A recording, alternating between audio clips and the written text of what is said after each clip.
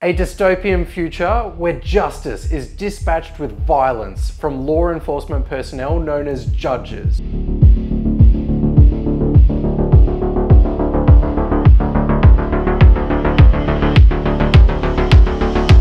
So what's not to love about Judge Dredd then?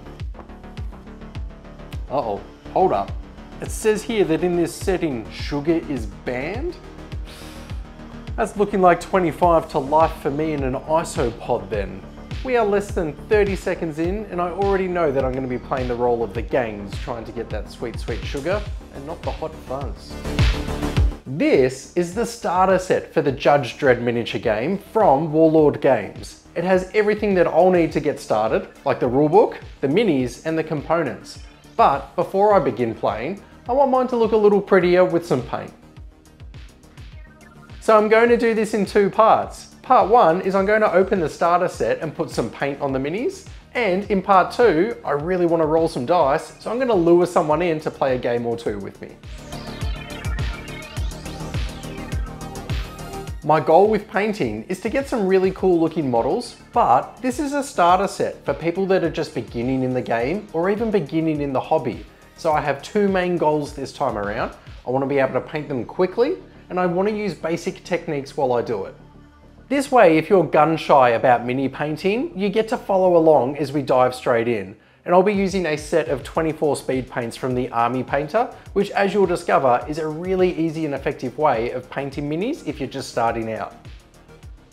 I've prepared my minis for painting by spraying them with a black coloured primer and then using a white coloured primer, I aim down on each model and give it a short press to create this gentle white coat on all of the raised areas. I'm doing this because now when I apply a speed paint over the top, there will be layers of highlights built in for free after one quick pass of the brush. This is a fast and effective way to use your speed paints to get a great result.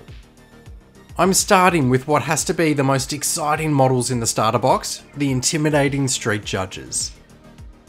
I'm using a wet palette whilst I'm batch painting several models so that I can bounce back and forth between colours and now my colours won't dry out. For brushes, I don't need to spend big and a starter set like this one from the Army Painter will be effective for a beginner painter like me.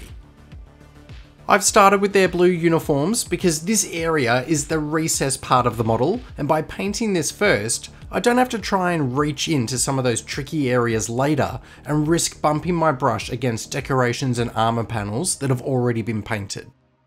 I'm following the box art for the judges so they are recognisable to my friends when they come over to roll some dice. I found that the key for painting with speed paints like these from Army Painter is to forget some of our older fashioned principles of painting about having a small amount of paint on the brush and working it in with glazing and other techniques. Here, we instead should be comfortable with loading our brush up with the paint, applying it to the model in a single thick coat, and then allowing it to settle across the surface and into the recess, almost like a wash, and then let it dry. This is the speed paint that I'm most suspicious about, a metallic colour. In my head, this is cool in theory, but shouldn't really work in practice, so I'm a bit nervous here. Madness. This gold is going on really smooth, and I'm so happy with this. I was preparing for the fact that I may have to jump back to regular metallic paints, but this is acting the same as the other speed paints. It acts very similar to the airbrush metallic from Vallejo, which I've been recently using for my other base coats. Street judges are a combination of cop, judge, jury, and if need be, executioner. They need to be beyond reproach, but if any of them should have their integrity compromised in the unforgiving megacity 1, then the whole system can fall apart. Whilst editing this video, I watched the 95 Judge Dredd film with Stallone because I wanted the nostalgia, and apparently the self-punishment, and I also watched the 2012 Dredd film. These have been putting me in the mood, but I've now started listening to the Judge Dredd Year 1 Omnibus as an audiobook, and I am hooked. I'm hooked on the lore of this universe, and I want to create my own piece of it. I quickly knock out the rest of the model's features with a handful of other colours, and now I want to add some extra character to the metal areas like the weapons and the armour. I create a simple and effective wash by taking their grim black and mixing it with a few drops of speed paint medium.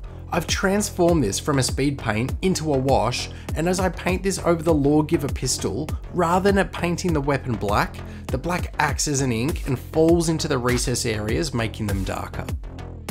Same for the gold, but instead of black, we can create warmth by using warrior skin brown. Now the armour looks more ornate and golden. I've mixed some blue and black together and painted street rubble on the bases to reflect the crumbling hab blocks they are operating in. But it's time to grab some bright colours and paint my gang. I want to create my own gangs with background stories and I want to create my own senior and rookie street judges with their own unique character traits. This has to be my favourite part of skirmish minigames like this, as I can let my imagination take me on a ride. A mixture of different skin tones are available in this set and it creates some interest in my gang. This gang adorns themselves with bright colours because they aren't scared of the judges and they want to be able to stand out in a crowd to intimidate the other Hab block inhabitants as well.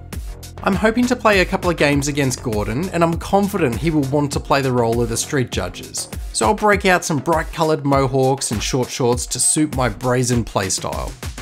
They will be known as the High Rollers Block Gang, and in our scenario to come, they are focused on expanding their empire of stimulant trafficking across multiple sectors.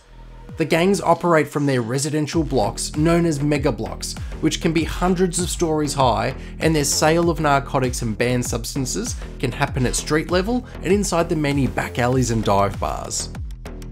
After each model has been afforded some interesting colour, I resort back to a handful of weathered looking browns for the remainder of the clothes to represent that they are still relying on whatever they can scrounge to replace damaged attire.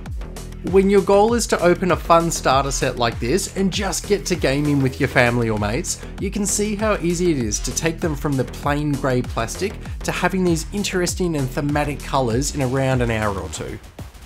Back to metallics and the homemade wash and the models are completed. You just need to have nice detailed models like these Judge Dredd minis from Warlord Games and the right products like the brushes and speed paints from the Army Painter. So thank you to both of those companies for coming together for this video to help me showcase this for you. For those that are interested in Judge Dredd, or just want to see a fun narrative game, well you're in luck, because Gordon was just as excited and he's made his way over to roll some dice. That video will come up in a week's time, and if you enjoy it, I may just be able to talk him into some more. You can let me know below by commenting, or if you're a bit socially hesitant like me, you can click the like button, Tell me if you've enjoyed me winding back the intensity on this painting video and showing you a method of painting board game or tabletop minis quickly.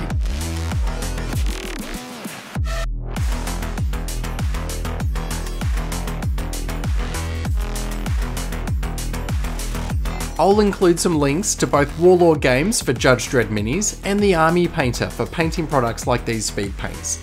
Neither are paid sponsors, but they did send me these products to take a look at, and if I find things I enjoy in the hobby, I'll pass that info on to you guys. Thank you so much to each of you for watching through to the end of the video. Our paid channel membership has taken off over the last month, and with over 10,000 subscribers, I'm so fortunate to have each of your support. You can come join us in the members section of the channel if you'd like, but either way, I look forward to seeing you on the next video.